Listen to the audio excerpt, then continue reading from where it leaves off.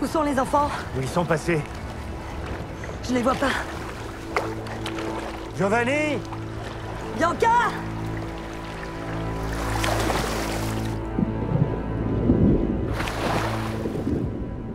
Aux États-Unis, j'avais une carrière. Ici, en Italie, il m'a été impossible de recommencer. Je ne parle pas assez bien italien pour être en mesure de suivre les patients. Que faisiez-vous aux États-Unis, Madame Walgren? J'étais psychothérapeute. Spécialiste du SPT, c'est-à-dire des troubles liés à un état de stress post-traumatique. Ici, à Paris, je ne m'occupe que de mes enfants. Et j'aime ça. Mais il me manque quelque chose. Aux États-Unis, j'avais une carrière, une vie. Et ce qui me manque terriblement, ce sont mes amis et ma famille surtout.